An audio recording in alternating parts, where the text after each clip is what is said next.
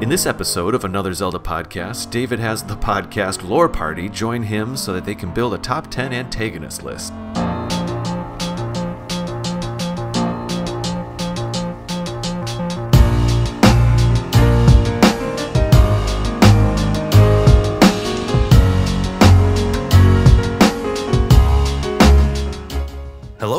To another Zelda podcast. I am your host, David Geisler, here today with two very special guests. I am with Lawrence and Neil from the Lore Party podcast. Lawrence and Neil, how are you? Lawrence, why don't you go first? Uh, doing pretty good. Um, yeah.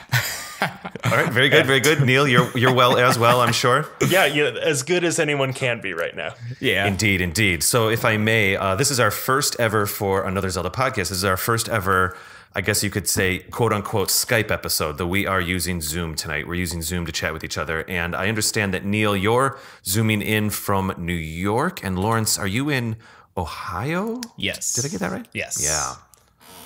So we're all over the place. So Neil, if I may, you know, I live in Chicago. I'm zooming from Chicago right now. Mm-hmm. It's pretty intense over here. It's pretty intense, but I, it's I think it's just a pale comparison to the situation over in New York right now. How are you faring? It's it's weird, isn't it? Like everyone, hopefully, if they can be, are being home and being responsible in doing Yep. so. So I'm still lucky enough to be employed. Uh, I'm just leaving to go on a walk, do laundry, get groceries, and it's so strange because everything is very different yet the same. Uh, I'm sure for you guys, days are blurring together. Uh, they have no meaning anymore.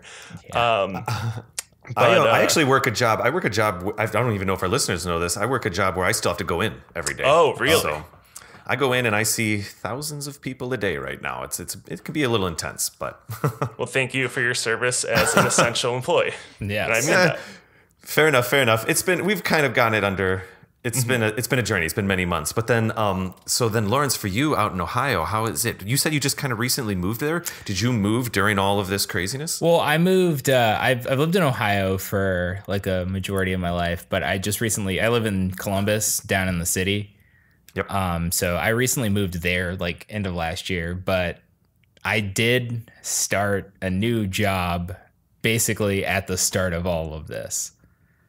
So, um, I mean, I, you know, I work from home, so I haven't. I feel like I haven't left my apartment in like uh, it's been weeks. It has been a, a long time. Um, yes, yes. but yeah, no, I mean, I'm I'm doing good. Um, I am. I live with my me and my fiance live together, so at least there's someone still here, so I'm not like going stir crazy. But it's uh, yeah, it's been getting boring. I've been trying to be productive. Well, that's you know, I a lot of the another Zelda podcast. We like to have our episodes be what's called evergreen. We like them to be something that's not particularly timely. Some you know, we find that a lot of our listeners go back to season one and season two, and they kind of dig into our episodes, which we love. makes us very very happy. Um, this particular episode, though, I don't mind at least mentioning the timeliness of it a little bit because part of the reason why Lore Party and another Zelda podcast reached out to each other was because of these these interesting times we are in right now, and um, immediately was. You know, I had a couple. I don't mind telling the audience this; they kind of know this already. We had a couple um, episodes scheduled that had to be canceled because of of distancing and things like that.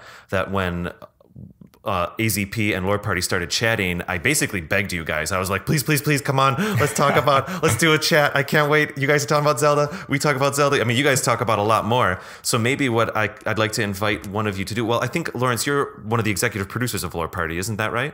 Yeah, yeah. Um, work as like a senior producer under Abu, who's the There it is, there it is. executive of the whole thing. Fair enough. Fair enough. Um, for my listeners, um, I've only had one other um, podcast on as a guest before. That was the Studio Demands It back in season two.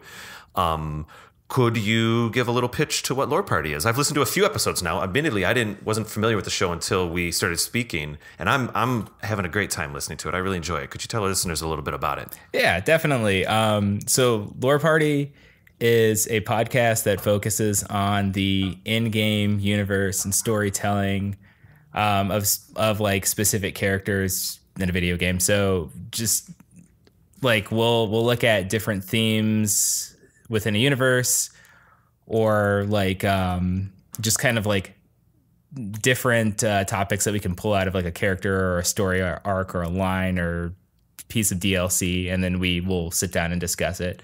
So, um, I have been Neil and I have both actually we've been on Lore Party since the very beginning, and so like just to kind of give you an idea of like some of the content that we've covered before.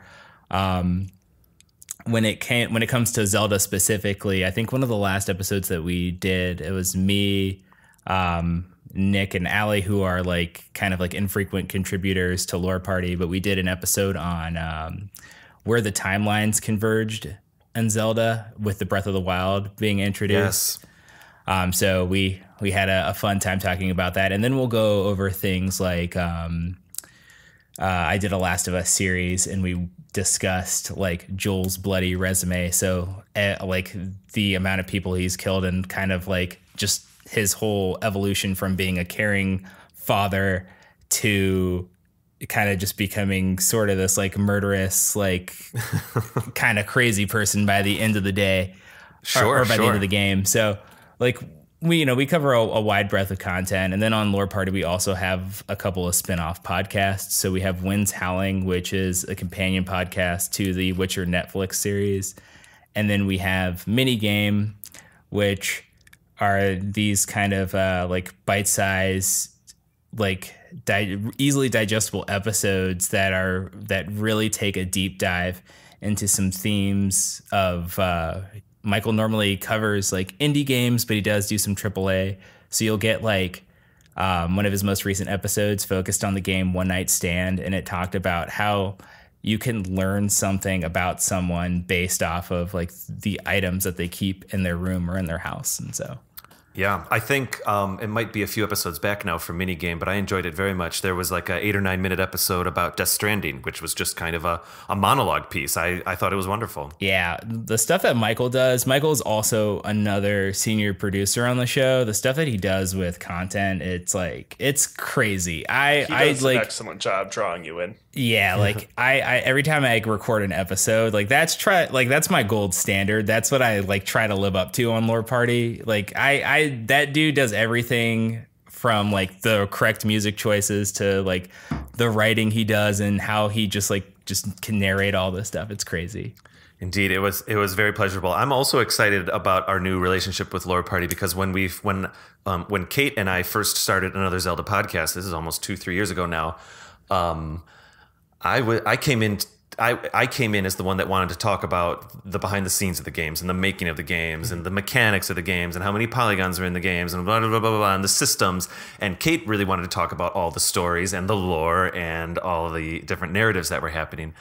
And I, it was a really great relationship in the beginning that way, but I, I couldn't help it. Halfway through season one, I was like, yeah, but then maybe the Gorons did this, and then maybe they talked to those, and I got, I was totally in. I was in all the way, and I'm like, I was a uh, Zelda was one of my favorite video games ever. Um, enough for us to make this podcast about the game, but I had always looked at it from a, maybe more of a programming point of view, and I'm really grateful that this podcast has allowed me to get much more excited about all the different stories that are happening. And so, um, Neil, I wanted to ask you: Do you what's your um, most potent memory of Zelda? What's your experience with with the Legend of Zelda franchise? Oh man, I think. Um playing the Oracle games on Game Boy Color as a kid.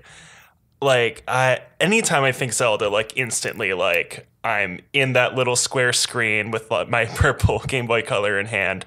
And those games to me are so rich in lore, just like it's your first time outside Hyrule, but things are very familiar yet different. You have all these races and uh, the same kind of like conflicts. Ganon's not there. Uh, and everything about it just oozes with personality. Every single dungeon, per, like NPC you talk to, everything like there's just such an inherent charm that I always go back to those games whenever I think about the series.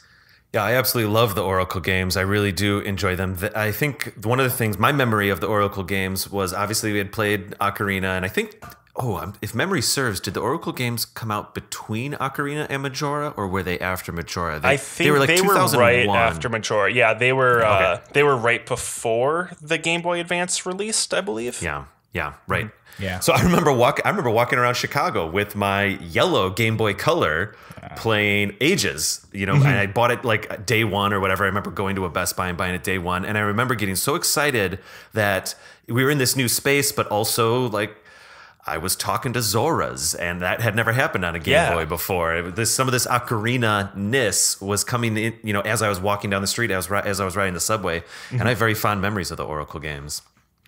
And, you know, I just realized we didn't even tell our audience what we're doing tonight. I got to say, we're, we're about, I don't know, five ten minutes in here. I want to mention it. We are doing, oh, I guess they saw the episode of the title.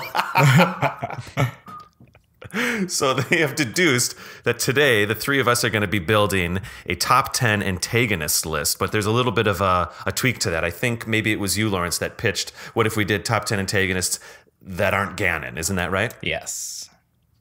So what made you um, we, we were tossing around a couple ideas on what to do for this episode. I did kind of say i think a top 10 format would work well but what brought that idea on for you?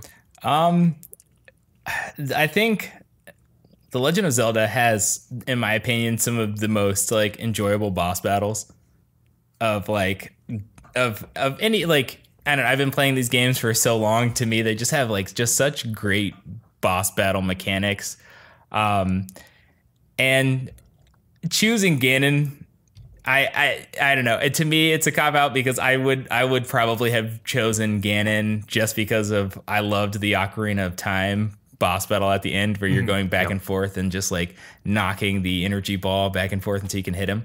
Like I, I really loved that boss battle, but I feel like mm-hmm. to give to kind of give ourselves a challenge, we got to like drop off the the main baddie of the series and and kind of explore some of some of like the you know the more obscure and maybe little lesser known or less remembered boss battles.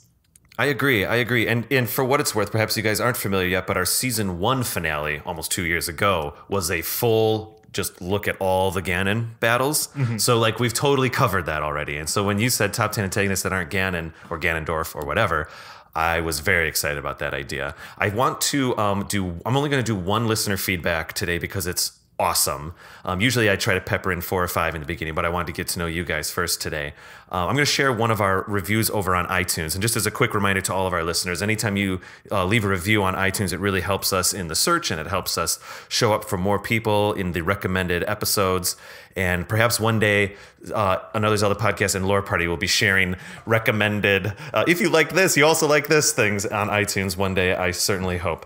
Uh, let's see here. So I have a review from oh, my my screen has a little. There we go. the, from a from a person called Stupefy Catadrava. Mm-hmm. Two exclamation points. the title is Favorite Boss Battles. All right. Uh, here's here's our review. Five star review over on iTunes. I love this one. We just got this the other day. Hello, I'm a nine year old kid and I love Zelda. I love the episodes that are related to the races and the top 10 episodes. I especially love the one about the boss battles. I have a time limit for how much I play, but I'm still enjoying the game a lot. I have beat the original Zelda game and I'm in the middle of A Link to the Past and Ocarina of Time. Right now, I'm playing Breath of the Wild. And I love the boss battle against Fireblight Ganon. Also, I need help because I don't know how to become a Patreon. Could you help me? Love your podcast. I hope you keep doing this for a long time. Also, I have a question. I heard that in the creepy cutscene in Twilight Princess, Link kills Ilia? What? The rest of that cutscene is not so scary, but is that true? If it is, how does this Link kill Ilia? well, thank you so much, Stup Stupefy Katrav. I don't know how to say your name, but thank you so much for the review. Um, uh, we really appreciate that. There's a, there's a lot to unpack there. I think there there is a nightmare scene in Twilight Princess with Ilia. I don't recall Link specifically kill, killing Ilia. Do either of you are either so of you familiar? I'm replaying through Twilight Princess currently. Um, yes, and I just finished the Lake Bed Temple uh, the other week. So that scene is the light spirit explaining to Link and Midna about the Twilight Tribe, uh, specifically the Dark Interlopers, and it was using Link and Ilia as set pieces to represent uh, what was going on in the story. So Ilia, as someone who covets the Triforce, tries to stab Link, who's filling in as one of the Dark Interlopers, but he counters. I see, I see. So of course it's not it's not really those two, uh, but they Right. are uh, play acting in a sense to make It is to make scary though. Yeah, yeah. There's a couple. There's a couple scenes that get a little freaky over there in in Twilight Princess. Very. There's, I mean, there's there's a bit of Majora's Mask cutscene stuff that gets evoked in Twilight Princess. That's for sure. And then just real quick here uh, to our person who left us this wonderful, wonderful review. Um, if you do want to find some of our uh, Patreon tiers, our, our different Patreon benefits, you can just go to our website, anotherzeldapodcast.com, and we have in our top menu, there's the word Patreon. And if you click on that, it'll take you a link right to our Patreon page. And you can find a lot of different ways to support the show and find different pieces of content. So I hope you do that if you are so inclined. Otherwise, just keep on listening. That's all we need. And so I'm so excited to hear that this uh, this person is playing so many games right now. I also appreciate the time limit. They're being responsible. It's it's it's. I mean, this. I'm sure that that's imposed by some kind of parent figure, but nevertheless, it sounds like this reviewer is being very responsible with that. And I thought that was a really nice one to read. All right, gentlemen.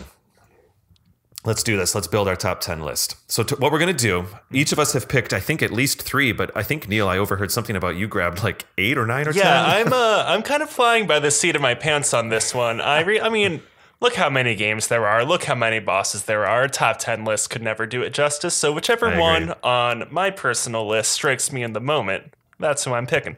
Okay, I'm for it. I'm for it. I don't mind that at all. Lawrence, how, how are you set up over there? Um, I've kind of narrowed it down to three, but I'm also, I, I feel like I might change it as this conversation goes. That's perfectly fine. I do have three. I generally what we do here, even though it's going to be pretty loose tonight. Generally, we try to do, uh, I guess you could say least to most. So if we're doing a favorites, we start with i- i- number five. If it was just Kate and I, we'd be doing five each when we do these lists. Um, you know, if it was top ten ba- boss battles, we did an actual just boss battles episode, and and maybe my first entry, number five, would be one that I thought was cool, but they just got cooler and cooler and cooler until we get to the final. So that's I think that's the order of ascension or descension that we'll use tonight. Sound good? Yeah. Now let's see here. Who? Let's. How about this, Neil? I think I might invite you to go first, and then I'll go, and then we'll give Lawrence uh, the the final word because I think he'll have the final um, uh, contribution then at the end of the episode. Sound good? All right, sounds great. Yeah. So what could be? Now this is not an exact top ten list. We always talk about this. We're, this is just a fan podcast, not an expert podcast. And every time we build one of these top ten lists, we're sure that a couple years later we could probably do top ten again with another ten. And and There's one of my favorite room for things. reevaluation. There's always room. And one of my favorite things is that a lot of times when we do one of these episodes, our listeners will tweet in with things that we didn't talk about, which just continues the conversation, which is really nice. Mm-hmm. So, Neil, what might be your bottom of your top three? All right, so the bottom of my top three is Still pretty cool. still pretty cool. I don't think anyone's going to agree with me on this. Sm- Smog from the Oracle of Ages in the Crown Dungeon. I don't know if you remember this guy. He's a little cloud monster with two horns, pair of eyeballs. That's it. And he runs around some blocks, splitting himself into smaller and smaller oh forms. And you need to use the Cane of Somaria to generate a block and figure out how to combine these creatures back into the original boss so you can fight him. And this is a remember boss fight as a child in adulthood, no matter what, it's a challenge every time because it's one of the few bosses I find where, oh, you actually brought my favorite part of Zelda, which is puzzles, into a boss fight. Uh, I think That's- it's excellent. It's just That's S M A U G, right? I'm just building a little list here. uh, I think it's just SMOG, just smog. Yep, yep, no problem. I I do recall this battle. Now, honestly, Oracle of Ages, mm-hmm. as I was saying at the top of this episode, it was almost 15 years ago, or maybe more, when I was walking around playing it. I've dipped in a few times since. I'm mm-hmm. looking forward to playing again, but I'm actually I've just been tr- starting to wrap up seasons, so I I actually forgot about this battle until you mentioned it. And you're right. By building that block, you're trying to basically create the opposite of a fork in the road, a pinch point to Exactly. make the, the, everything come back together. And like I just I really can't think of another boss in the series that I had to actively think not about how do I avoid his attacks, not how do I get to hit him, but just where do I need how do I'm actively solving a block puzzle, one of the core mechanics of this series. Yes. I think it's brilliant. I love it. I love it. A lot of canes. That's when we start getting canes too. After that, Mm-hmm. Cap, the, Cap, the Capcom Nintendo collaborations, they like they had to have a cane in every single game. I feel. Yeah, pretty much. So okay, I think maybe I'll, we'll move on. That's great. We got we got Smog Mm-hmm. there. Or actually, if I may, Lawrence, do you have anything to say about that that particular boss? Um, no, that was I actually forgot about that one, but no, that was an enjoyable boss battle. It's been so long since I played um Oracle of Ages because I originally had seasons and I didn't play Ages until like I was a lot older. I that one completely slipped my mind, but that was actually it was frustrating at first and then like kind of enjoyable. It's like I actually had to stop and think like, okay, what do I have to do to to beat this? Instead of just like mindlessly button mashing. right. Absolutely. I'm trying. I'm starting to think I might reorder my three here real quick. And so obviously three times three times three, or you know three times three is not, is nine or whatever. So we're we're gonna we're not gonna hit ten with the with the three of us. But I do have some listener tweets with a list. So I think if there's any that the listeners tweeted that we don't mention, we'll all decide at the end of the episode what our tenth item on the list just might be. Sound good, guys? Yeah, sounds great. So, okay, I think I had a mildly different interpretation of antagonist, and I used kind of like main antagonists to Oh, each gotcha. different story. What, you know, who takes the place of a Ganon or a Ganondorf? Okay. Um, and so I think I think my first one is going to be one because it's it's cool, but it's a bit of a cheat as a main antagonist, and I think it actually is a good transition because this character is also often just maybe like a boss battle, or, or even in some cases a mini boss battle. And uh, when I was building my list, I was trying to think of I was kind of going through all the games, and I was thinking, well, okay, a lot you know, a lot of times there's a a switcheroo halfway through the game where, haha, it actually was Ganon, you know, is doing something. And uh, I think some of those characters might still show up on our lists tonight, and I'm perfectly fine with that. But um, the first time that uh, Ganon was not the main antagonist was Zelda 2, was the adventure of Link. Yeah. And that whole game obviously exists as this kind of epilogue almost. I mean, it's its own huge game and everything, but it's almost an epilogue because Ganon's if you if you die in that game, it's not that Ganon wins; it's that then the bad guys are able to bring Ganon back. So Yeah, Ganon's through your not blood there. from dying. Yes, indeed, indeed. So, like, who's who's the who's the boss? Who's the bad guy in a game like that? You're just trying to not die so that Ganon doesn't come back. Of course, there's other adventures to be had, but um, you know, the final. I think most people know that the final boss in that game is the first time that we get Dark Link, and so I wanted to put him on the list here because in some ways he's a main antagonist. And the only thing that the reason I want this to be at the bottom of my list is because I think there are cooler, more interesting versions of Dark Link in boss battles in later games. But I at least wanted to throw it out there that um, Zelda 2 had Dark Link as the final boss battle. And actually, I do want to note that maybe you guys recall that Dark Link isn't summoned by some kind of like demon. He's not there all the time. It's actually the old man who's been helping the whole time summons him. I don't know. Maybe it's a final test or something like that. But This he's is there. immediately after the Thunderbird fight, right? Indeed, indeed. Right after Thunderbird, then it's like, and you're fighting yourself now. Right. and you do, you do fight yourself. And I think it's a touch. I don't want to say it's a cop out, but it's a. T- this is why I have it at the bottom, is because obviously it's just a black palette sprite. It's not a new sprite or anything. There, there's uh, Dark Link doesn't bring any extra fancy new moves that you have to figure out how to. You just have a sword fight with yourself at the end. But I at least wanted to throw that out there, and um, maybe I could expand this a little bit. Do uh, Lawrence? Do you have a personal favorite uh, Dark Link experience? Yes, it's funny. I I will uh, probably end up changing my list because that was my second one, but but I really like um, you know Ocarina of Time, Water Temple, Dark Link boss battle. That was one of my favorites. Um, because because the uh, um Ocarina of Time that was the first Zelda game that I was able to beat without like looking at online facts Right, right, right. like that was so like I just think as a kid playing a video game that was like the ultimate triumph and when I got to that boss I was so blown away because you know that's before you could look up like you could you know go up and look up the plot on on like any website. I was just like, okay, I'm in this boss battle in this water temple trying to get through, and then you're fighting yourself. And I really like that you had to be strategic on how you fought Dark Link because if you just like swung your sword at him, he would jump on your sword, and then you would get like kind of stunned in place for a second. There's no corner of the screen for you to crouch in this time. Right, right. Like I was like, normally you're Nice. just good to get a couple hits in on a boss and mm-hmm. like you know kind of flub your way through it. But like he, when he jumped on the sword and I was stunned and I was like trying to move at one point, I was like, it's crazy. No other Yeah. boss does that. And the delivery of that boss battle, it's technically a mini boss, so you're not expecting it. You just go into this room that's for some reason all of a sudden doesn't have walls. And they kind of do a, a Metroid trick there where, you know, the boss doesn't show up until the character turns back around. So you're mm-hmm. walking into this room and you're you're like, something's going to happen. This is I don't know if it's good or bad. It feels ethereal, but the tree's dead in the middle, so you're not sure if it's positive or negative. Mm-hmm. You get to the other door, you don't know what's going on. You turn back around. Oh, and I think actually there's a technicality maybe you guys are familiar with this doesn't if you pass the tree doesn't link's literal feet shadows actually disappear or something I believe so. Yeah. and you turn around and there he is he's he's he's hovering by the tree and attacks oh that was a very moving moment for me back in the day I just remember as a kid finding out you could use the megaton hammer, and then it's like, oh, this is Oh yeah. this makes sense.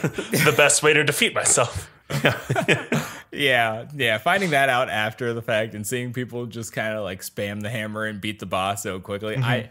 it took me so long to beat Dark Link as a kid. I think I sat there for two hours and tried to beat that boss. Yeah. You know, that's interesting. I don't want to get on too much of a tangent, but you know, Miyamoto was talking about how when he was they were designing the Z targeting system for Ocarina, that a lot of the combat was inspired by Zelda 2 with with with the parrying and the th- you know, uh, holding the shield and sword fighting and shield and all that kind of stuff and the jump attacks and all of that. Um, that's a that's a kind of a poetic uh, cross there, where it's Dark Link and Zelda 2, and the next time we see him is in Ocarina in a similar experience. And I think that that battle with Dark Link, if you're not spamming the hammer, does have to be strategic. You can't just kind of wail away. He just blocks, blocks, blocks. You know. Yeah. You got to be on the move. You got to be thinking. Maybe Indeed. bust out one Din's fire if you've got the magic for it, but that's it. I'd always I'd use that first. I'd go in there with Din's fire. Oh man, alive, uh, Neil. Real quick, if I may, real quick. Yeah. How about you? Do you have a Dark Link uh, experience or memory that that also sticks out for you? There's an Oracle one. Frankly, I've never been into Dark Link as a recurring antagonist in Zelda, Sure. just because like I don't. I didn't have like an N64 growing up, so I, don't, I didn't have a fondness really for uh, anything going on in that game. Uh, Zelda 2 is impossible and will always be impossible for me, so I just I can't do it. Um, Yeah. But other than that, I think the only real instance is in uh, Four Sword Adventures on the GameCube, right? Yeah, yeah there is a Dark Link situation there. Right, where it's uh to me that just seemed like uh like in Mario Sunshine, like, oh, here's the shadowy version of yourself chasing you around. Look at like from like a story like an actual story standpoint, uh there just wasn't ever enough substance to do anything for me. Uh Yeah, fair enough. yeah. Fair enough. Well, let's uh, let's use let's keep on keeping on here. And Lawrence, what do you think your first entry into the list might be? Okay, so my first entry was just basically I based it off of just pure enjoyment of the fight. So mine is from Majora's Mask, and it's the uh, masked mechanical monster Goht Oh, I'll have to cross that off my list. from Snowhead. That was uh Snowhead. The whole Snowhead arc in the, of that game was amazing, but I really loved that boss just because you had to beat him using just the like kind of uh, Goron roll. Yeah, you're in the race. Yeah, like you. Yes, just- indeed. You're on a track. yeah, it's you're- great. You're just going around and around and around. And the Mm-hmm. first time I beat the boss, it was like it was before I knew that you could slow down time in the game. So I beat the boss as like the third day was ending. Yes. Oh, Oh, the A tension. literal race against the clock. Yeah, against so, the boss. Like oh man. it was just like it was insane. I'm like, oh Mm-hmm. my god, I gotta beat this guy. It's like this is crazy, this is crazy. And then so I didn't get to like experience the springtime and get like the gold dust for the gilded blade until like I went back and played the game again. But Oh, of like, course. it um it was it was exciting. It was it was a lot different because you know I'm used to like every Zelda game is you either are a sword or you know some item. This one you're rolling around or you're throwing like a fiery punch. Mm-hmm. So Yeah, I remember the first time I got into that experience. I was, you know, you start, he takes off, and you think you're going to do. Uh, my interpretation at the time, I was like, oh, maybe this is like a Dodongo thing from Ocarina, where I'm going to run the other way and meet him around the other way or something. But there's just, it's just impossible because this is just this massive donut. And then you start rolling, and you're like, oh, this is what we're doing. Oh, we're doing this. This is, I got to hit the jumps. Oh, I'm like the mechanics change during that fight. That is a mm-hmm. good one. yeah, Well, I love to like it starts off you have to use a fire arrow to thaw him out and then he goes on his rampage and then what my favorite attack that he does, he basically launches a lightning bolt forward and you're on the circular track and it comes around to get you from behind. And I had never really seen a move like that in Zelda before. Uh, It's yeah, because every boss is just like, oh, here's an energy ball at you. Oh, look out, I'm going to stab you. No, this dude's Yeah. thinking on a whole different level. Yeah, and then of course, famously there in uh, in the Majora's Mask remake, they they did still have to throw that big huge eyeball on his back to make it a little bit more of a cla- a classic quote unquote Zelda boss. Of course. I still haven't played that remake, but I think I'm going to pick it up while I have a little more time on my hands. I did finally pick it up. I've kind of famously not had a Switch or a 3DS for like the first two seasons of this show, but I finally have both now. And um, I because we're we're going to be doing a Majora's Mask review this season. And I couldn't decide, like, should we review the remake or should we review the old one, Re- remake or old one? And there's a lot of good things about the remake, but I think ultimately, at least for the purpose of the show, maybe this would inform your choice, Neil. Um, I think we're gonna go classic because we got to review it the way it was. There's enough changes. I get that. Yeah, it's my understanding a lot of like the bosses have like had a little too many tweaks to them. Uh, yeah, the, the, Zora saving mechanics overall had some weird stuff going on. Zora's different. The saving's a little different, and I, do, I personally don't think any of those changes are are bad. But I think if you're like, we did our Ocarina review last season, and if we're going into Majora's, I think we got to stay original cartridge. And so Absolutely. I would not I would not dissuade you from trying it out. But if you're if you don't have that original experience, I still think that one might be like the the right one. You know Right what I mean? on. All right, let's see here. Well, honestly, I think we've got a little bit of time for this first half still. Um, what, Neil, why don't we keep on moving here with your? I guess it would be your second. Yes. Um, so for my second, uh, now Smog was a very personal antagonist to me. So as far as a real antagonist goes, I think Girahim from Skyward Sword is an excellent fight and an excellent antagonist. Uh, a lot of people don't like that game, and that's fine and that's fair. I had a blast with it when it came out. Yep. It's the only Zelda I haven't replayed. Don't know if I will. But man, to just have this creepy, slick looking silver guy going mano y mano with you with swords. He's throwing these little uh I don't even know, like the darts? Like Yeah. needles? I it feels know. like yeah, it feels like he's got fancy little needle darts. You're right. Yeah, like he like t- for the first fight in that game where you have to think about how you're swinging your sword, what you can do, actively looking for openings in an enemy who's teleporting behind you, fighting from afar, fighting close combat.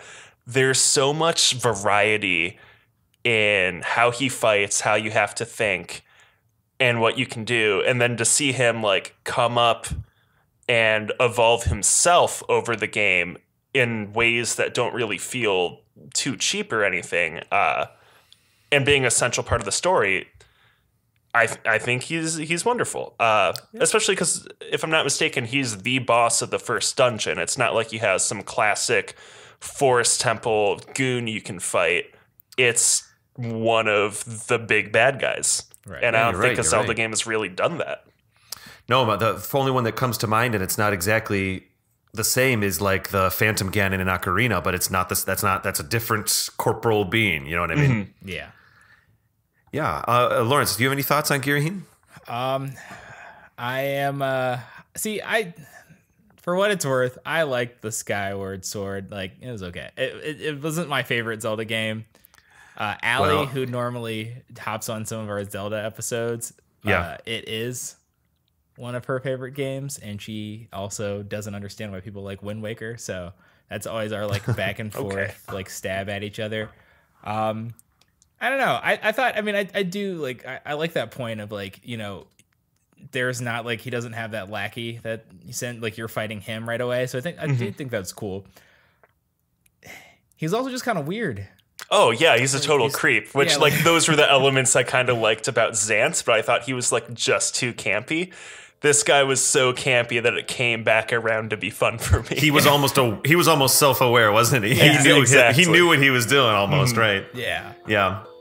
Fair enough. Well, honestly, I think I don't want our um, Zoom recording to, to time out here or anything like that. Um, I think we should probably cut to break and we'll come back and we'll pick up. I'll go with my second uh, on the list and we'll just keep on going. Does that sound good, gentlemen? Yeah. okay, cool. All right, cool. I'll see you in about a minute or so. All right, see ya.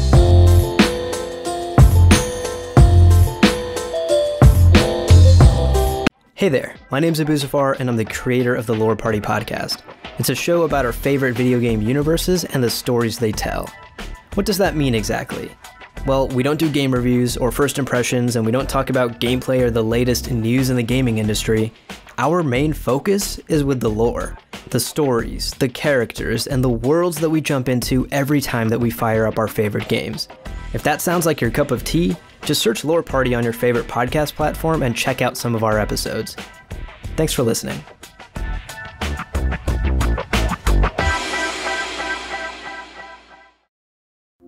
Hey everybody, David here. I hope you're enjoying the episode so far. I just wanted to talk to you about some of the updates we have on our Patreon page. Now, as some of you know, we do have our three tiers the sword tier, the white sword tier, and the magical sword tier. And we've been getting some really tremendous support over on Patreon. It's it's tr- truly amazing, and I want to tell you a little bit about some of our new rewards. So, for starters, we decided to add the wallpaper reward to our sword tier. This means that anyone who is a supporter on Patreon will get a special thank you on our website, and they'll also receive the ability to download wallpapers once a month from our Patreon page. Now, I make these wallpapers myself, and it's a lot of fun. They come in a variation of screen sizes. I also make a phone version and an iPad version. I even make an Apple Watch version, which is kind of fun. Next, we have our White Sword tier, and that's staying pretty much the same. What the White Sword level will give you is early access to each of our episodes. Typically, it's about a week before. Um, also, advertisement free versions of those episodes, and I record a little Patreon specific intro before each one, just a touch of behind the scenes before we get into the episodes. Also, of course, on the White Sword tier, we have our bonus content, which we release just little mini episodes every, oh, I don't know, every three or four normal episodes. We put a little mini episode in there. That will also be available on the private RSS link that you'll receive by becoming a White Sword member. And lastly, this is the big one. Our Magical Sword tier, Kate and I have decided to bring a camera with us into the studio, you could say, every single episode going forward after episode 17 of season 2. So we just kind of set this camera up and we say a little quick intro to our Magical Sword patrons and we let them be there with us, so to speak, while we record the episode. I'm really excited about this because I've been wanting to give our Magical Sword supporters something really special, and I think this is a great way to do it. Okay, so that's it. You can go to patreon.com slash another Zelda podcast. You can also find links on our website to our Patreon page. We're so grateful for the support we've received already, and um, if you are interested in any of these rewards at all, please go check us out.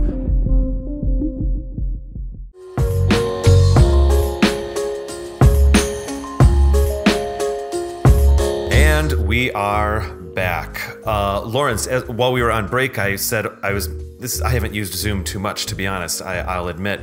And I was like, okay, cool. What do we do? Stop the file, start recording again. And you mentioned that you have a license, and we're and we're on that right now. So thank you so much for that. I didn't realize that was happening. No problem.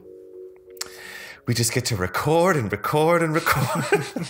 Yeah, I had to uh just like side note, I had a virtual graduation thing that I had to attend, so I picked up a license so we could just like host it continuously without it booting everybody in my family out. So Nice. Indeed. Yeah, I get it. I get it. And we're also being able to take advantage of it tonight, and I'm very grateful. Thank you so much. Which actually, if I may, may I speak a little bit about how I'll be actually joining? It, will it be the both of you on a lore party episode, Neil and Lawrence, mm-hmm. or is it? Yes. Yeah. Okay. Excellent. We're going to be recording that in just a couple days, and I can't wait to be a guest on your show. I think it's going to be a lot of fun. Yeah. I'm excited. It'll be excited. exciting. I was I was thinking we're going to be speaking about um, we're going to be speaking about the Oracle games and the kingdoms. And one's kind of a kingdom, one's kind of just disparate land. Well, that's the but thing, the, the societies that, Yeah. that exist in the Oracle games, I think, is what we're going we're going to be digging into the lore of that. And Neil, you've put together quite a few notes already, I think, that I've seen, which is really Yeah, exciting. well, because that's just always something I think I look forward to in a Zelda game. Like, oh my God, we're not in Hyrule, you know, like Termina, uh, the, the settings of the Oracle games, uh, Yep. New Hyrule. Jeez, oh man, it's the best. So I haven't gotten to new. Oh yeah, New Hyrule. Yeah, yeah, New Hyrule. I was thinking about Hyrule and Lorule. I'm still. I have not played. I own it, but I have not played um, A Link Between Worlds yet because I we was just finished impressed Link with to the Past. that when it came out. I'm very excited to get into it. I'm very excited. I got to do the review games first, but I'm very excited to play it for sure. And actually, just real quick, since we're on the on the topic, um, if people want to find Lore Party, is it? I, I've subscribed on iTunes, but also, could you let people know what the website is right now, and, and maybe some of the other places where you post the show? Yeah. Do you want to do it, Neil? No, Oh, okay. Uh, okay. Um, so yeah, we're uh, you know, you can find us loreparty.com. Um, and then we're pretty much on every single place. We're everywhere you can listen to podcasts. So Fair enough. Cool. That'll do it. That'll do it. All right, let's go back into our top 10. So, so far, we've had Smog, Darklink, Goht. What were the others, gentlemen? I, I started not writing them all down. uh, I had Girahim. Yep, yep, yep. and that's where that's where we left off. Oh, is that all? That's all we had? Okay, so I just missed the one. That was because of the break. So I'm going to go with Bellum as my number two. Ooh, fun. Yeah, I, I remember enjoying Bellum a lot, but I was a little torn about this choice. I'll be honest. Um, I had a difficult relationship with Phantom Hourglass. I playing it like there were portions of it I thought were really cool and really brilliant and really exciting. I didn't mind the new controls at the time. I thought it was actually a very smart way to reinterpret maybe how to play on a, on a system that had a touch screen. Um, the the Bellum fight itself, I think, is is is well executed. Where you're using both screens and it's vertical based, and you're using a lot of a lot of the things that you've built up to it. But while I was doing my research over the past couple days for this episode, I noticed a very strange aesthetic about Bellum, and, and maybe that's why I'm actually putting Bellum on here. Maybe Bellum should have been my third, but anyways, it doesn't really matter. This is kind of an, a whatever list. Um, so Bellum's a big eye with a mouth around it, as as many of us know. Bellum is one of the only main antagonists that never like really says anything, never talks. Bellum's almost more of a like a force of nature. And I couldn't help but notice when I was was so I mean I've I've played Bellum, I've beat Bellum, but I did go up on YouTube and watch some of the battles again just so that I could refresh myself. And there are portions where Bellum spews out these other eyeballs. And the mm-hmm. eyeballs hit the ground and they come up, and I'll be, they look exactly like Malice in Breath of the Wild. They have the same mm. purple stalks, there's yellow eyes looking around, and you have to fight them. I don't think there's a connection. I think a, a retcon connection could be made for the fun of it. But um, I just I couldn't help myself. I was like, "What is happening here?" Bellum's kind of a force in nature, maybe like Malice a little bit. I think there might be something to it, uh, which is kind of fun. But otherwise, um, Bellum's Bellum. I don't know. Do you guys have any thoughts? I have not thought about Phantom Hourglass in a long time outside of it just kind of being nearly almost like a tech demo for the DS because that game really utilized every faculty of that handheld. Um, That is the best. What's, Bellum? what's nine different ways you can blow at the screen? that is the best way I've ever heard that game described. A tech demo. because there's nothing amazing you just about to, it, but uh, but Yeah. the characters like Linebeck, oh my goodness, Linebeck's fun. Love him, like uh, because that's part of the final. That's like the first phase of the fight, if I recall correctly. He pos- like Bellum possesses Yes. Linebeck, puts him in the Phantom armor, and You're you right, got to actually- fight him. You're absolutely right. I kind of skipped over all that. He like Bellum like zombifies these characters, grabs Zelda, grabs grabs Linebeck. It's later on back in the in the Phantom Hourglass Temple Mm-hmm. where where he starts shooting out the eyeballs and stuff like that. You're right. Yeah, So he that comes is up kind out of in line with how Ganon fights. You know, he it's like first phase is always some puppet of some sort, and in this case, it's Linebeck. Didn't you? Have Yeah, to I like trace, Didn't you have to trace your path that your ship went on with Mhm. the, the stylus. Okay, To move around, yeah. yeah, it's been it's been so long since I played that. You know, I had a friend, I had a close friend, actually, Dan McCoy, who was just on our most recent episode. He asked me at work the other day, he said, Why is there a train in, you know, one of the Zeldas, Spirit Tracks? Why is there a train? He said, I don't really recall ever seeing a train in any of the others. And I said, Yeah, I, I remember thinking that was a little strange too. But I said, But if you look at that final timeline, there is a bit of an evolution of technology where Wind Waker, it's ships with wind. Then Phantom Hourglass, it's ships that are steam powered, and then we mm-hmm. have steam engines in that third one when once we're over on New Hyrule. And Yeah, because this is a hundred years after the Wind Waker, right? You know, it's so funny. It's always hundred years, right? Yeah, it's like right. hundred yeah, years, for hundred years, hundred Ocarina, years. Wind Waker. I know. Tracks. At a certain point, we're like thousands and thousands of years on, but like the technology hasn't increased that much. But anyway, yeah, you know, you're absolutely right. It is like hundred years later. Where I think the Phantom Hourglass link is still the Wind Waker link, but then it skips. Yeah. yes. Anyways, anyways, I just want to throw Bellum out there. Maybe I just want to talk about Malice Eyes. Uh, maybe I just cannot wait for Breath of the Wild 2, and I just got it on the mind. But uh, which ironically is going to have Ganondorf back, of course. I'm okay with it in this case. I'm okay with it too. I'm really excited. About that. teaser. That teaser did a lot of work. Yes. My goodness. Indeed. Cool. All right. So, Lawrence, what might be your second then? See, this was gonna this was gonna be the top of my list, but I moved it down. Um, Twin Rova Yep. is definitely no matter no matter where she appears in whatever game, it's always I, I'm I feel like I'm just going off of pure enjoyment, but it's always an enjoyable boss battle, and it's also like normally an interesting like part of the plot because like the the twin rova like sorcerers were in a few games and like i think weren't they they were in um majora's mask Well, yeah, the two old ladies are in Majora's Mask. I don't Yes. recall if they become Twin Rova. no they they sell like potions Yep. Yeah, in the swamp. yeah and, that, and like that's it but Yeah, like, they're pretty chill in that game, actually.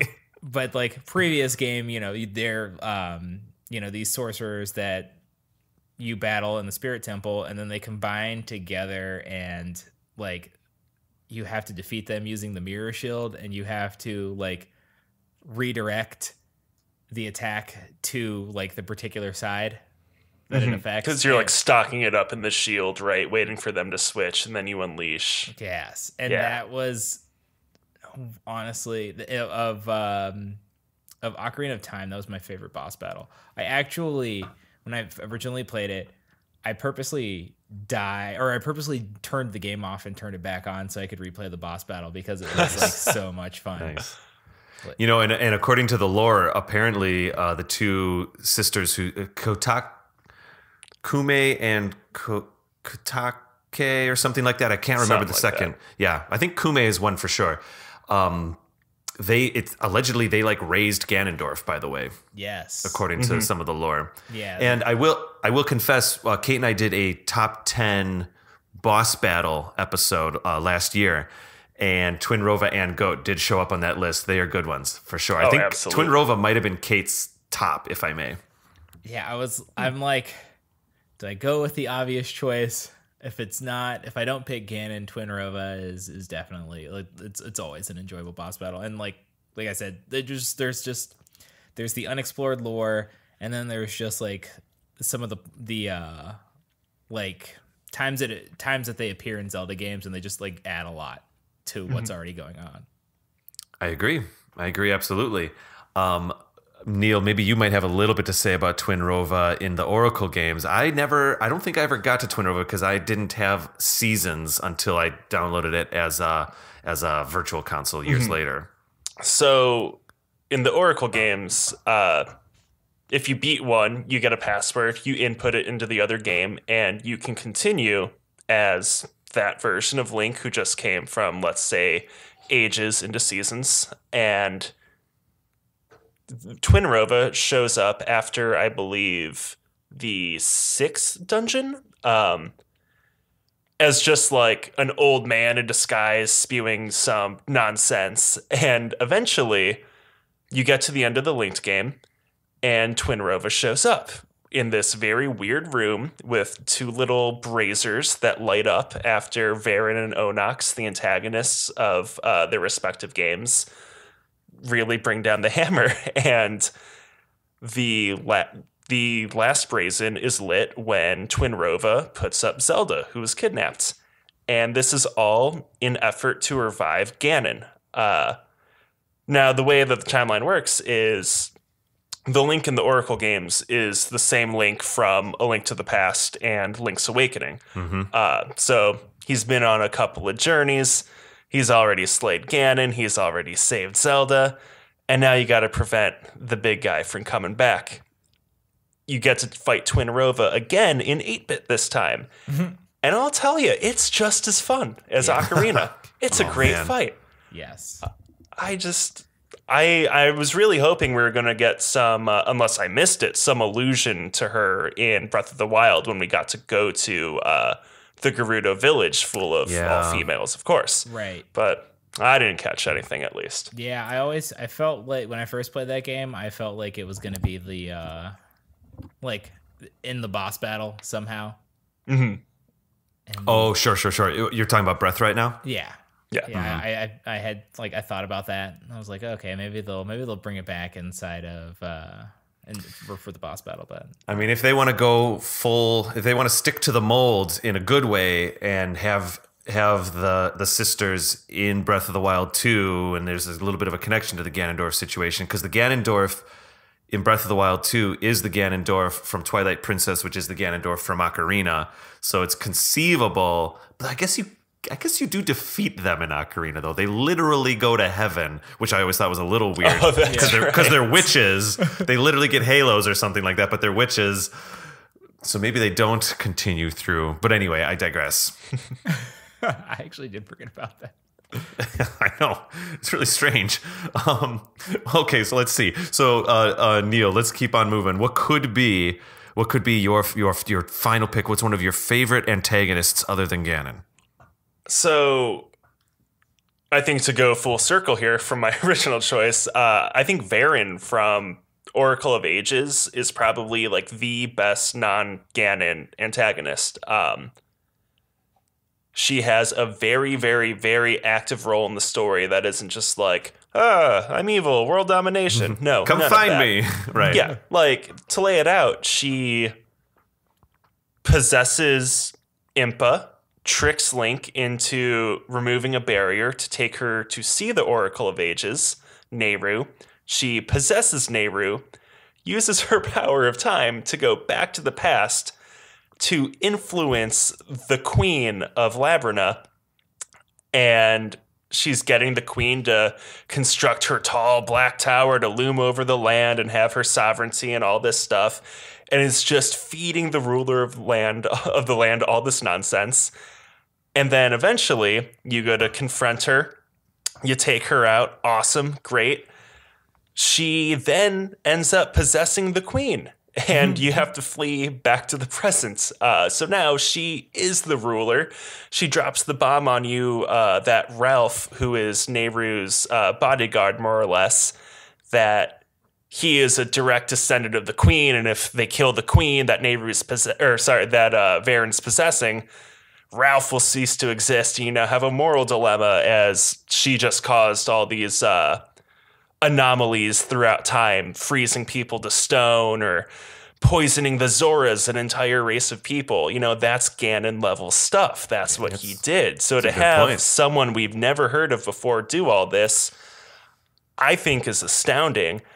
But there's no real agenda of her own or anything because at the end of the day, this was uh, for her to light the I, I think it was the flame of sorrow was the specific uh, flame in the room of rites for twin rova's process to bring back ganon and that's everything she was leading towards because you know i think the only other big villain i can look at is like Vaati because he has the most presence or anything and Right. his thing was just like i'm unhappy and i want to I want to be boss like that's it like I agree. this I has agree. levels for me You you sold me on this this this Veran thing. I I remember I got or I got ages before seasons because I was very excited about the time travel mechanic, and I just thought, okay, this is gonna be a lot of fun. We're gonna have cause and effect stuff. Um, but I totally forgot that so much manipulation was happening with that antagonist. Yeah, because like you look at the sister game seasons, and it's just General Onox sinks the Temple of Seasons down below the ground, and then you don't see him till you fight him at the very end of the game. You don't hear mhm. from him. He's not a participant in the story. Nothing. Yeah, it was a very rushed. Last boss. But you know what? I just yeah, you're right. You're absolutely right. And I just thought about something. The perhaps you you gentlemen are familiar that the the two Oracle games. uh, Well, it started as Capcom asking Nintendo if they could simply remake the Legend of Zelda, the 1st one for Game Boy, and so they started making assets and stuff like that. And um, I think basically, I'm paraphrasing here, but Nintendo said, no, but do you want to make some of your own? And then Capcom came back and said, we do. Can we make three of them? Mm-hmm. We want to make one for all three a red, green, and a blue. And so they started building that based off of already having a little bit of a light build, perhaps tech demo esque, a light build of the original Legend of Zelda. And so Oracle of Seasons has a- a- many of the assets, and that original build is in Oracle of Seasons, which is why that first dungeon feels just like the dungeon from the original Legend of Zelda. Mm-hmm. It's the same dragon, weird dragon unicorn thing. Aquamentus, yes. Yes, indeed, indeed. And so I'm surmising here that perhaps all of the interesting, once they decided they were going to do three, and they started building out their stories, I guess what I'm trying to say, and I'm just deducing this right now, is seasons. There isn't as much motivation because there wasn't as much of an opportunity for that narrative to be there because they kind of had half a game and it's really just find the bad guy at the end. And end. that would make sense that he's an afterthought at that point. Yeah, yeah. With ages, they got to really write something, and then, of, of, you know, real Mm-hmm. quick note: the three games became two quickly because they realized it was going to become a lot of work. Right. And this was also around the time when there was the red and blue Pokemon and a lot of the trading Mm-hmm. back and forth. And Nintendo said, "That's cool. It's cool. Give us a red. Give us a blue." Again. I'm paraphrasing all of this. I, I have no authentic research on what exactly No, you're Nintendo pretty said. much on it. But I think that was basically the general sentiment. Mm-hmm. So I would surmise that the ages narrative is significantly more fleshed out. Yeah, that makes sense. I never thought about why that could be. Yeah, that makes complete sense. It's like the, it was like their game. It was Capcom making their game. You know what I mean? And I think they did a great job with it. Yeah, then especially like then. to basically use the Link's Awakening engine and make all this sprite work for elements from Ocarina and therefore Majora, like to have like those fairies and actual characters like Ingo show up in seasons. Uh, I just thought it was great. I, I was a huge fan of that. I concur. I concur. Okay, I guess I'm gonna. I'm, I'll have my. I don't want to call my. I don't want to say it's my top, but I'll call it my final. Um, and again, I was using kind of my my choices were limited because I was using this kind of main antagonist uh, thought process. So you know, you've got eight of them. you, know, you know, if you're just thinking about the big bads at the end, in many ways. I mean, there might be a few more here and there if you get technical. But um, we were talking about Girahim before the break, and we, we were making fun of Zant a little bit. But I'm going to talk. I'd like to talk about Zant. I'd like Zant to be. I Yeah, guess absolutely. I guess my final. And if it comes to main antagonists, though you really sold me on ages, um, I do, the reason I chose for Zant to be the top of my list was pre Zant battle, but like the essence of Zant when he first shows up in the beginning and the essence of Zant through those first five to eight dungeons or whatever it is in Twilight Princess, he's terrifying. Oh yeah, You know, he's scary. like, yeah. It was. it- I remember it being one of the first times, even not, uh, even not being that scared in Majora's Mask, even though Majora's Mask is scary, you know, esque or ish or whatever. I remember like seeing that Zant character walk in in that opening cutscene, and every time he'd show up, uh, you know, my heart rate would raise. Uh, the first time I played through Twilight Princess, Oh yeah. you know, it, it it does diminish a little bit when you realize that he's the Ganon puppet, and because we got to bring Ganondorf back. I'm okay with it. I also think Ganondorf is phenomenal in Twilight Princess. I love that final battle with him. I don't want to take anything away from that. And I did rewatch the Zant battle to refresh my memory a little bit. Boy, he gets goofy. He just like loses his mind. He's he's I think he's almost he's more um, animated than Girahim by far. I mean, I think he's. I would like to think. Maybe I'm making excuses here that Zant was. You know, I just thought of something. When he first meets Ganondorf in the cut in the cutscene, he's not a, a super cool dude. In fact, he's kind of a wimp running away from stuff. And And then Ganondorf comes and basically sees like a weak person that needs power, that wants power, and says, I can help you. Mm-hmm. And then Zant finds his cool. That's when Zant becomes the scary cool Zant, the one that I kind of remember. It's easy to forget about the uh, coward Zant and then the crazy Zant at the end. Um, but but the last thing I do want to say to it, and then I'll open it up for you two guys to make your comments about Zant, is uh, even though I think his um, intimidation or presence is diminished a bit when I, I get it. They were trying to make him really weird. He does all these weird animations and stuff like that, and I think it's supposed to be off-putting. Maybe the way Girahim is, in my opinion, successfully off-putting for me, Zant, it, it was a little too much, but I can't take away the fact that that final b- battle with him is pretty good. It is pretty epic. It's the one where he transports uh, Link through many of the other boss battle arenas, but then reinterprets them in his own way by still using some of them.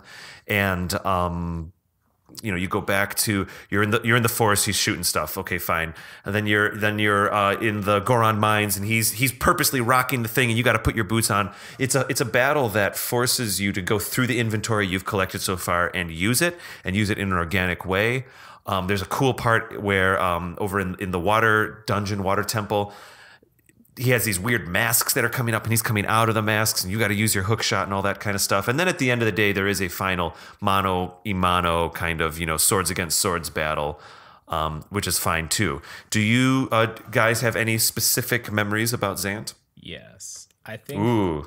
I I honestly Zant was is probably one of my favorite non Ganon villains, and I think that he could have probably he could have definitely stood on his own throughout the game, even without the Ganon. You know, not discrediting the Ganondorf twist in that game. I Right. still think that if they hadn't done that, it would be good.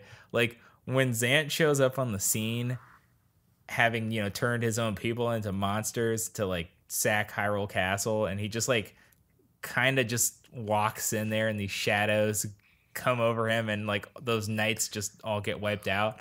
yes And then like Zant also is like unlike Ganondorf in in most games where you, you know Ganondorf, you know he's there, you know you have to stop him because he's gonna do things, and his his evil is shown in the form of like the bosses the boss battles like and and like but he's not directly like involved in the plot for most of the game. Zant shows up and like really messes up your plans. Like zant shows up and uses a light spirit against you yeah Mm-hmm. and, and he just like appears out of nowhere like zant it, like there are parts of that game where i was just like man zant is kind of like all powerful Yeah, he was a I agree. real active threat. yeah In fact, I guess that's what I, I'm ac- I'm accidentally speaking to is that I feel like they had to kind of um, bring him down a notch or two so that Ganondorf could then become the big threat. But I think I love that Ganondorf. I love that Ocarina of Ganondorf is in Twilight Princess. You know, the the nerd in me loves that. But I agree. I feel like Zant could have they, they they if they wouldn't have brought him down and if they would have brought him up a notch, so to speak, he would have been a, a, a completely satisfactory um, antagonist for the entire game. Because like as much as I love fighting Ganondorf in that game, on the entire story level, he didn't really bring much to it. And if he wasn't there and they just amped up Zant further, he would have been perfect. But Yeah. at the same time, I understand the importance of just kind of showing us like, oh, for uh, for lack of a of a better phrase, he's just an angry kid, and Yeah. Ganon gave him a baseball bat. That's what happened. like a really cool baseball bat where he was able to make his entrance and have it and do all these crazy things. I feel like it's narratively it's unfortunate. It does feel like maybe it was a choice that was made halfway through development or something like that. So I don't want to take too much away from Zant. The final, Right. the, that final battles. I, I don't want to say unfortunate because mechanically it's interesting, but Well, it works because somebody finally challenged his power that he believed was unstoppable and that he believed was his. I mean, that's a good point. You're right. Yeah, that's why he's like a little unhinged and like mm-hmm. more animated. And I and it does add it I don't know, it it adds to uh I think it does add to his overall overall character. Like it I- works. It definitely works. Yeah. I think I Okay, also I'm hearing you. I always felt like the you know because he was so calm and powerful throughout the game like they really had to to go into the um they really had to have that cutscene with Ganondorf on uh, an Arbiter's Ground with Mhm. them sealing him away and him killing a sage.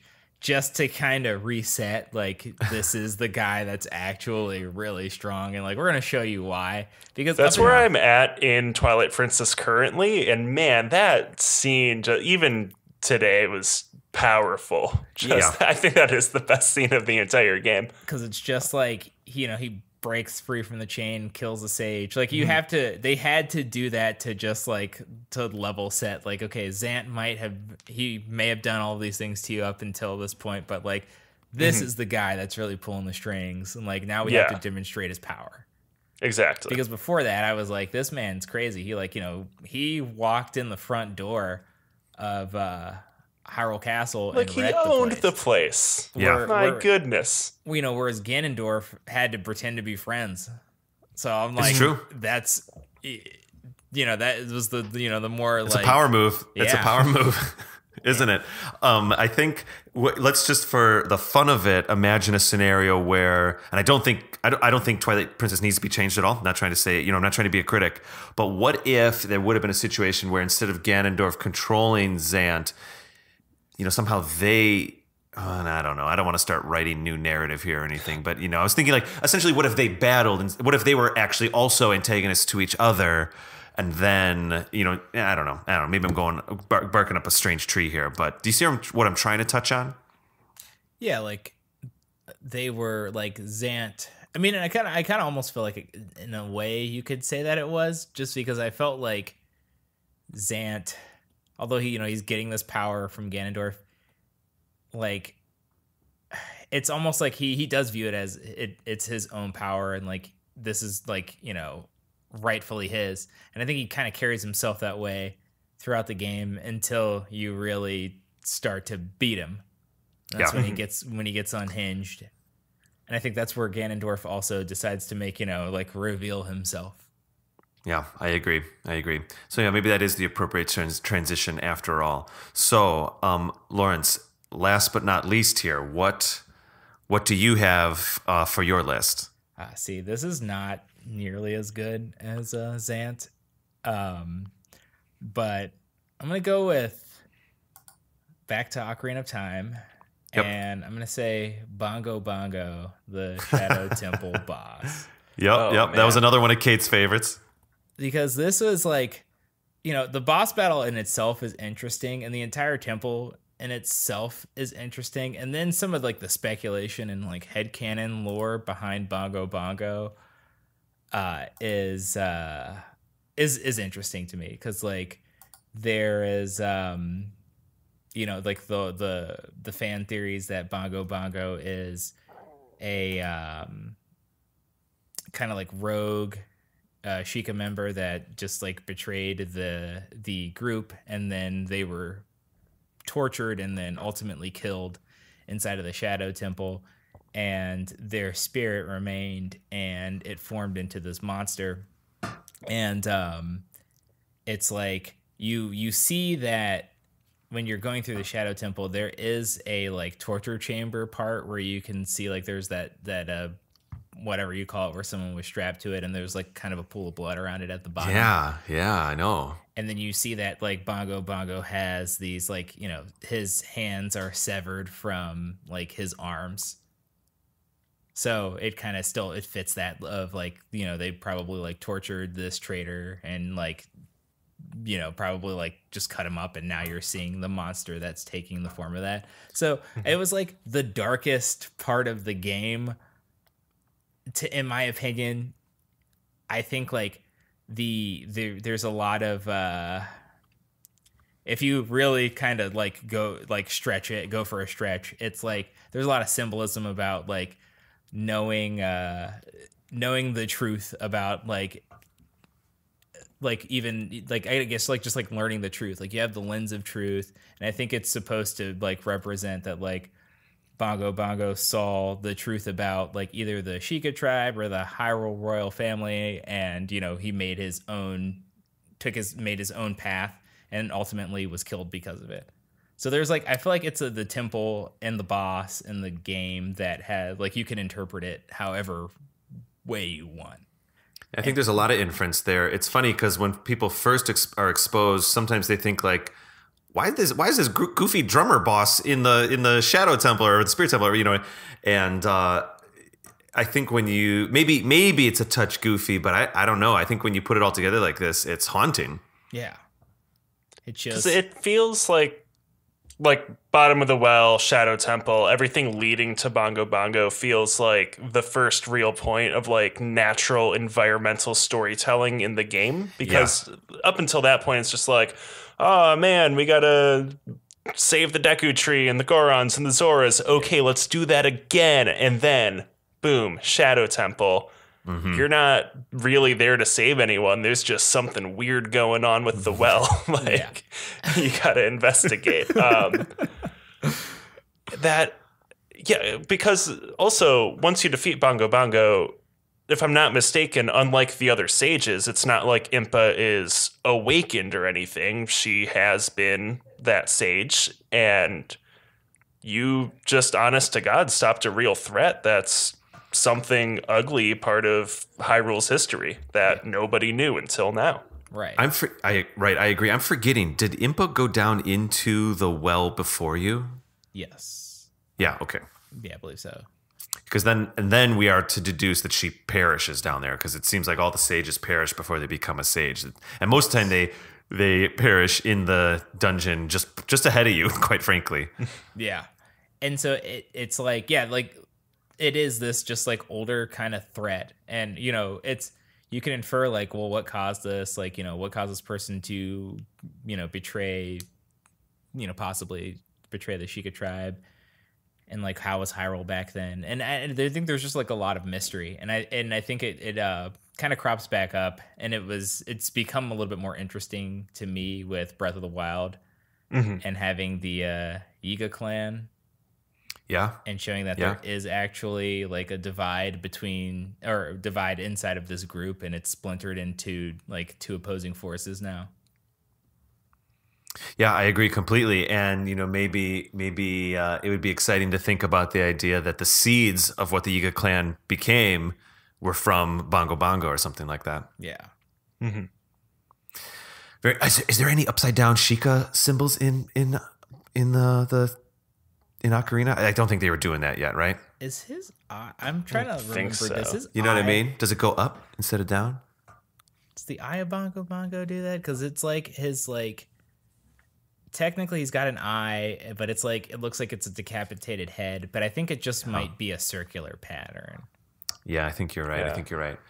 Anyways, anyways, cool. Well, okay, so we have we have quite a few entries here. This is very exciting. Um, I wanted to. We have a couple of people that tweeted us with what could be our tenth tenth item here, so to speak, a tenth item, tenth entry.